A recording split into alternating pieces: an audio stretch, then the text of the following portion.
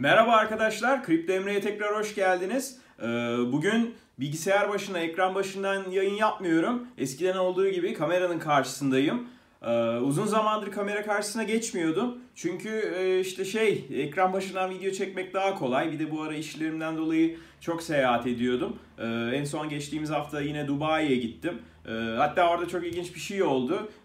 Benim Patreon grubundan e, birileriyle buluştuk. Ee, işte Patreon grubunda biz tartışırken e, Dubai'de olacağımı söyleyince e, üyelerden biri dedi ki ben dedi burada ticaret ateşesiyim dedi. Sağ olsun benim makamında ağırladı. Akşamında işte e, Türklerin açtığı bir yere götürdü. Huka açılmış şeye Burj Khalifa'nın yanına. Hani ne diyeyim size tam günaydının karşısında Dubai'nin en güzel yerine inanılmaz şık bir restoran ve nargileci açmışlar. Ee, yani acayip hoşuma gitti. Çünkü Dubai en az İstanbul kadar, New York kadar turistik bir yer. Ee, ve yani orada bizim markalarımızın böyle iyi yerlerde görünüyor olması çok güzel. E tabi orada da Bitcoin, kripto piyasalar ne olacak, ne bitecek bunları konuştuk. Ee, ama zaten e, bugünkü videoyu çekmemin amacı da bu. Yani şu son bir aydır, iki aydır hatta yani yılın başından beridir olan işte düşüş trendi ve bugün geldiği durum e, hepinizi meraklandırıyordur. Hepinizin soruları vardır ya da hani neden buraya geldik, ne zaman tekrar yükselişe geçeceğiz falan. Yani herkes bir merak içinde. E, o yüzden bugünkü de bir ben balkon konuşması yapayım dedim. Şimdi olan biteni genel olarak değerlendirmeden önce e, benim videolarımın eskiden beri izliyorsanız hatırlarsınız. Ben yılın başına yakın bir şey uzun vadeli yatırım deneyi sepeti oluşturmuştum. Ee, bir Excel tablosunda o günkü en büyük 20 altcoin'e fix bir para koymuştum. Ve yani bunun birinci senenin sonunda e, ne olacağına beraber bakalım demiştim. Ee, hadi isterseniz gelin bir ona e, tabloda bakalım. Bir de onunla beraber coin market cap'i değerlendirelim önce. Şimdi hafta sonu biliyorsunuz Bitcoin 5900 dolarlara kadar düştü. 6000'i bile kırdık. Ama bugün bir şey var, geri sekme var o yüzden e, piyasalar yeşil. Ama buna aldanmamak lazım. Ben sahte bir yükseliş olduğunu düşünüyorum. Yani en azından hararetli yükselişlerin geri döndüğü gün gelene kadar yani hani piyasaların cansız kalacağını düşünmek bence en sağlıklı karar olur. Çünkü hani düşünsenize yılın başında 800 milyar dolarlardayken market cap trilyon dolara gidiyoruz diye sevinirken şimdi neredeyse dörtte birine düşmüş durumda. Bitcoin şu an 6197 dolardan işlem görüyor. Her şey yeşil. Yeni bir alım dalgası geldi. Ee, bunlar biraz tepki alımları. Ee, o yüzden nereye kadar yükseltir piyasaları e, orası muallakta. Ee, ama işte gelelim işte şu şeyi anlatayım size.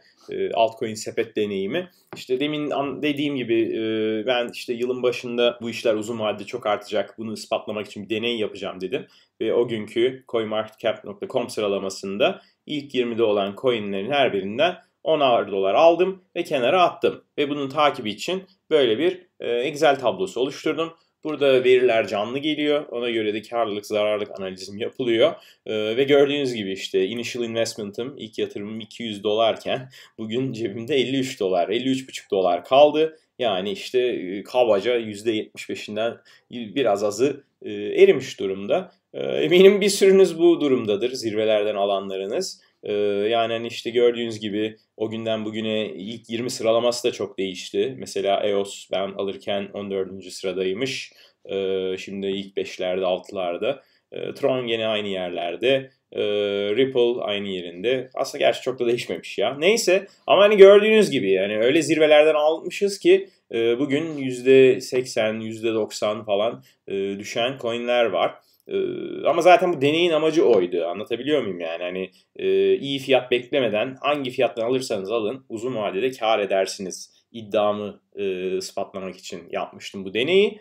E, şimdilik iyi gitmiyor tabii ama bakalım daha senenin bitmesine bir bu kadar daha var. E, sene sonunda nerelere geliriz hep birlikte göreceğiz. E, ben gene bunu arada sırada sizlerle paylaşıyor olacağım. Ee, kendiniz de kendi sepetinizi e, Excel'den takip etmek istiyorsanız bunu nasıl oluşturacağınızı bu şeyin içinde bulabilirsiniz. Ee, bunun linkini de video açıklamalarında e, yine ekliyor olacağım.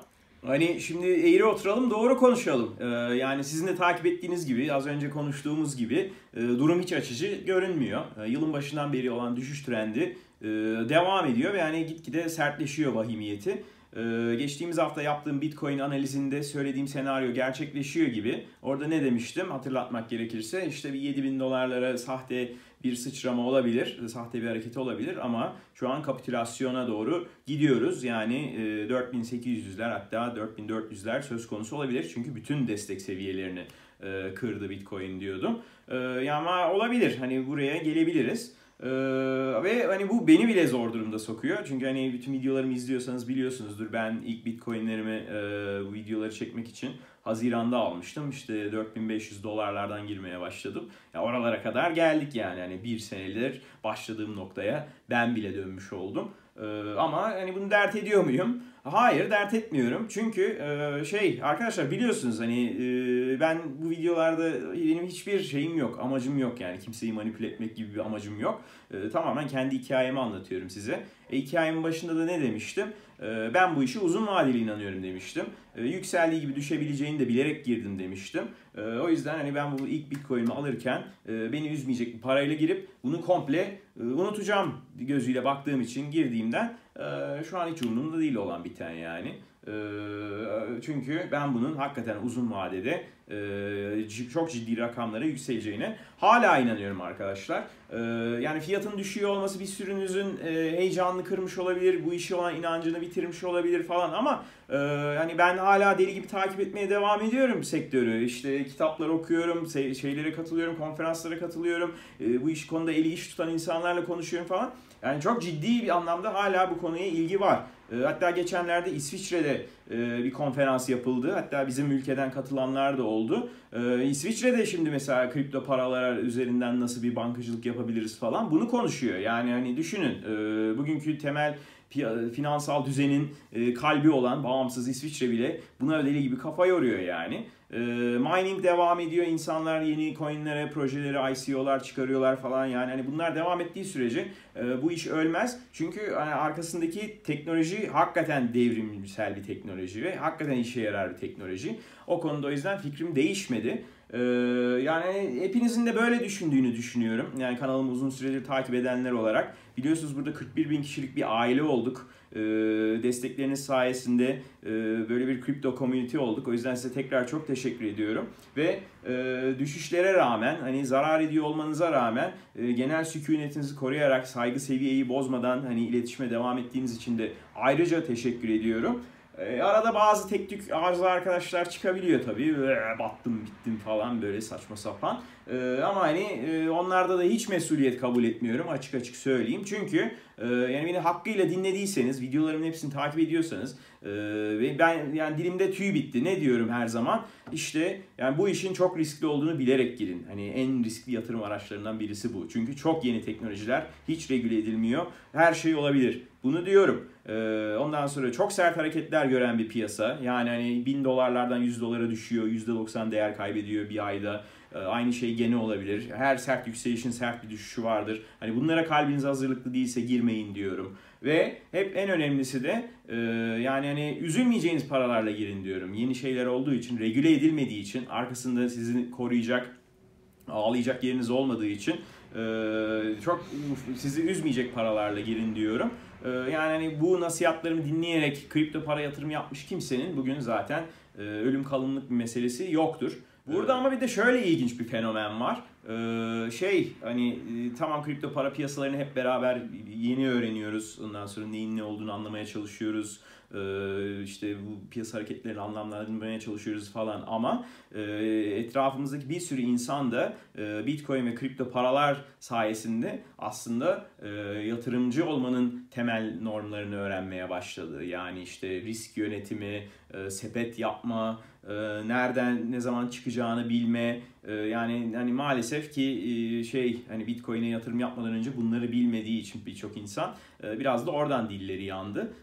Ama hani bildiğiniz gibi ben burada elimden geldiğince size yardım etmeye çalışıyorum. Yani hani bu kanalın tek gayesi oydu. Ee, yani hatırlarsanız ilk videoları yapmaya başladığım zaman yorumlarda en çok gelen soru ya ben almak istiyorum nasıl alacağım? ya da aldım ben bunu nasıl saklayacağım? Nereden alırım nasıl alırım nasıl saklarım? Yani bu böyle çok temel sorulardı. E işte bunları cevaplayan videolar çektim. Oturdum işte kitabını yazdım ee, yani bunları anlattım. Neden yükseleceğini düşündüğümü anlattım. Teknolojisini açıkladım bilmeyenler için. Sonra tabii insanlar bunları öğrendikten sonra daha advanced sorular sormaya başladılar. Daha gelişmiş sorular sormaya başladılar. Ya işte nasıl borsada al sat yaparım nereden trade ederim ondan sonra işte ya alıyorum çok düşüyor. Bunu engellemenin yolu yok mu? İşte stop loss nasıl konulur? Nerede konmalı? E, oturdum bunlarla ilgili içerikler ürettim. E, tamam son birkaç aydır deli gibi düşüyor piyasa. O eskisi gibi makro yükselişler yok. E, o yüzden hani hem bitcoin bazında hem dolar bazında para kaybediyoruz. E, bu şeyden nasıl çıkabiliriz, sarmaldan nasıl çıkabiliriz diye sorulmaya başlandı. E, oturdum ben de onun için bizi kurtarabilecek bir sinyal algoritması yazdım. Yani hani işte şey kripto paraların teknik analize göre hareket etmediğini düşündüğüm için ki hakikaten öyle.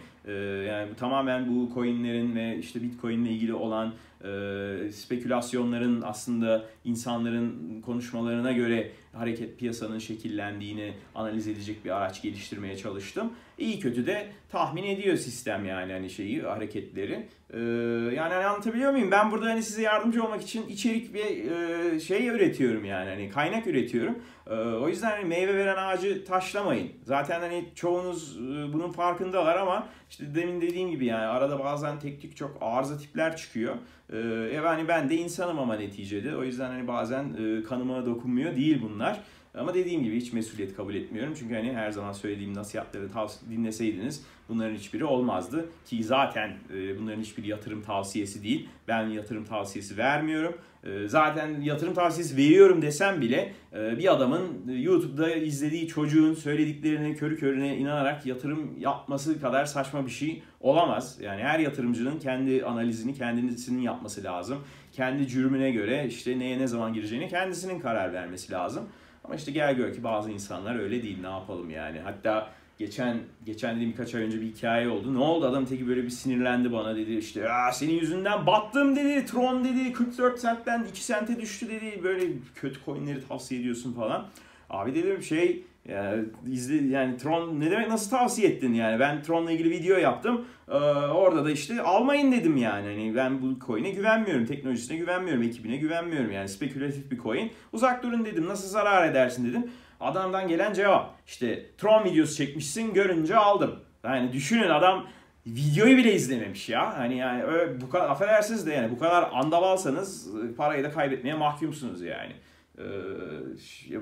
Yani bunun gerçeği bu. Kusura bakmayın hiç şey demeyeceğim yani mütevazilik yapamayacağım. Neyse uzun lafın kısası yani gönül isterdi ki o yükseliş trendi devam etsin. İşte bu hedeflediğimiz 30 bin dolarlar, 40 bin dolarlar, 2 sene 3 sene sonraki 250-300 bin dolarlar, 1 milyon dolarlar daha çabuk gelsin Bitcoin'de. E, ama işte öyle olmadı. E, ama dediğim gibi hani bunu ne derler yukarı olan şeyini beklerken, hareketini beklerken aşağıya doğru da hareket edebileceğini tahmin ediyorduk. Çünkü e, yeni piyasalar, yeni sektörler, karanlık sulardayız. E, bunlar olabilecek şeyler. O yüzden hiç moral bozmaya gerek yok. E, hala kenarda biraz birikmiş paranız varsa ortalama fiyatınızı aşağı çekmek şu seviyede yapılabilecek tek akıllıca hamle olur bence. Yani hani bir şeyi 100 dolardan aldıysanız ve bugün 30 dolarsa işte bir o kadar daha alıp ortalamanızı 65 dolara çekip karlılık karlılığın daha çabuk gelmesini sağlayabilirsiniz. E, yatırım dünyasında böyle şeyler oluyor işte. Her zaman herkes kazanmıyor. E, yani bu oyunda karla zarar kardeş. E, her zaman kazanacağız diye bir şey yok. E, ve hani e, yani sadece kripto piyasalarında da değil bu böyle yani. yani ben kriptodan önce e, Forex'te oynadım. E, borsaya da girdim çıktım. Mesela e, Tesla hissesi, uzun vadeli Tesla hissesi alayım diye e, bir ara heveslendim. E, işte fiyat 218 dolarlardayken e, bankaya gittim. İşte dedim yurt dışı borsana hisse almak istiyorum diye. Garanti Bankası kadar gerizekalı banka yok bu arada. Adamlar beni aylarca oyaladılar hesap açacağız bilmem ne diye. O arada fiyat işte 240'lara 250 dolarlara çıktı ve bana hisseyi alamadılar. Ben oradan tuttum gittim ben bu Tesla'yı nasıl satın alabilirim diye. Ee, işte Ata Yatırım'a gittim. Onların varmış işte World Trader'ı. Oradan Tesla hissesi aldım. Ee, 264 dolara falan aldım. Ee, işte hatta e, annem duyunca evde Tesla aldığımı o da dedi aa dedi o arabalara bayılıyorum ben dedi yurt dışında görünce ee, bana da al dedi o işin geleceği var dedi. Onlara da aldım yakın bir fiyattan. Ondan sonra ben de bekliyorum ki işte böyle Tesla gitgide yani 100 küsür dolarlardan 264 lira çıkmış. O öyle devam edecek. Bir sonraki Apple olacak. Çünkü sonuçta hiçbir markanın yapmadığı bir şey yapıyor ve güzel arabalar üretiyor falan diye düşünürken hop diye kötü haberler çıkmaya başladı. Bir şey oldu. Ben aldıktan hemen sonra e, düşmeye başladı. Kaçlara düştü? 138 dolarlara mı? 160 dolarlara mı? Yani baya baya yarı yarıya düştü. E, ondan sonra da işte elimde kaldılar yani işte artıyor geri düşüyor artıyor geri düşüyor falan. Sonra bir işte şey e, ne derler 300 dolarları kırdı. Bir miktar sattım sonra tekrar 380 dolara çıkınca da hepsini elden çıkardım. E, yani bu anlattığım ama 3 senelik bir hikaye yani hani işte aldıktan sonra düştü geri yükseldi falan. 3 sene beklemek zorunda kaldım. Paramı 3 sene bağladım. Ama e, sonunda sattığımda e, güzel bir karla sattığım için o 3 sene beklememin hiçbir sıkıntısı olmadı. Çünkü ben o parayı 3 sene dolarda faize koysam bu kadar para kazanamazdım. E, TL'de faize koysam da o kadar para kazanamazdım. Başka hangi yatırım yapsam bundan daha karlı olmayacaktı. E, bir de işte 3 sene beklediğim için dolar çok yükseldi Türkiye TL'ye karşı. Oradan da birçok karım oldu. E, sonuçta başarılı bir trade oldu. Bitcoin'de de olabilecek en kötü şey bu. Ben size söyleyeyim yani. Ee, işte bugün %70, %80 zarardaysanız bekleyin. Ee, eninde sonunda aldığınız yerlere gelecek. Üstüne de çok daha artacaktır. Çünkü hani zaten o zirveleri bir kere gördük. Yarın öbür gün güzel bir haberle, yeni bir hikayeyle bu işe yeni bir para girişi olduğu zaman e, tekrar oralara geleceğiz ve hatta geçeceğiz. Ama şanslı olsaydık keşke daha iyi fiyatlardan giriş yapsaydık. Mesela bugün almış olsaydık. O yüzden dediğim gibi hazırda paranız varsa ortalamanızı düşürebilirsiniz ya da hani daha fazla para koymak istemiyorsanız zaten e, sizi belinizi bükecek miktarla içerideyseniz bekleyin. Onun dışında işte day trade yaparak Bitcoin miktarınızı arttırmaya çalışabilirsiniz. E, vaktiniz varsa. E, ama dediğim gibi hani şey e, bu işler sabır isteyen işler, e, sakinlik isteyen işler. E, şansınız yaver gitmediyse pozisyonu kapatmadığınız sürece zararınız realize olmamış olur. E, beklerseniz durumunuz toparlayabilir. Ee, bugünlük söyleyeceklerim bu kadar. Ee, dediğim gibi ben yükselse de buradayım, düşse de buradayım. Amacım tamamen sizlere yardım etmek. Varsa bir sorunuz lütfen yorumlarda, e, videonun yorumlarında bana sormayı ihmal etmeyin. Bu videoyu beğenip arkadaşlarınızla paylaşmayı unutmayın.